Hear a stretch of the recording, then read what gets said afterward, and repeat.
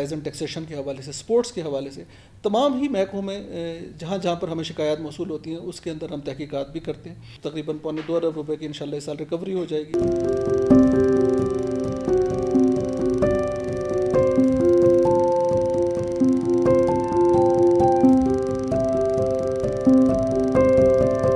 बलुस्तान आपके टॉप पर है करप्शन के हवाले से। यहाँ पर कोई भी चेक एंड बैलेंस नहीं। चार साल के दौरान जिस तरह टैंकियों से पैसे बरामद हुए, घरों से पैसे बरामद हुए तो उसकी वाज मिसाल है और जब चीफ मिनिस्टर खुद कहे कि मेरी नाक के नीचे करप्शन हो रही थी और मुझे मालूम ही नहीं था, आप अंदाज़ा इस बात से लगा सकते हैं।